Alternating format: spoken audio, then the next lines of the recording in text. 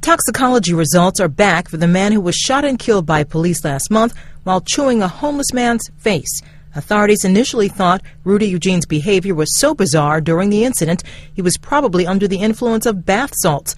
But the medical examiner now says that wasn't the case, and the only drug that was detected was marijuana. 65 year old Ronald Poppo needed surgery after the attack, and he remains in the hospital. Police have released few details about the incident, including what triggered it.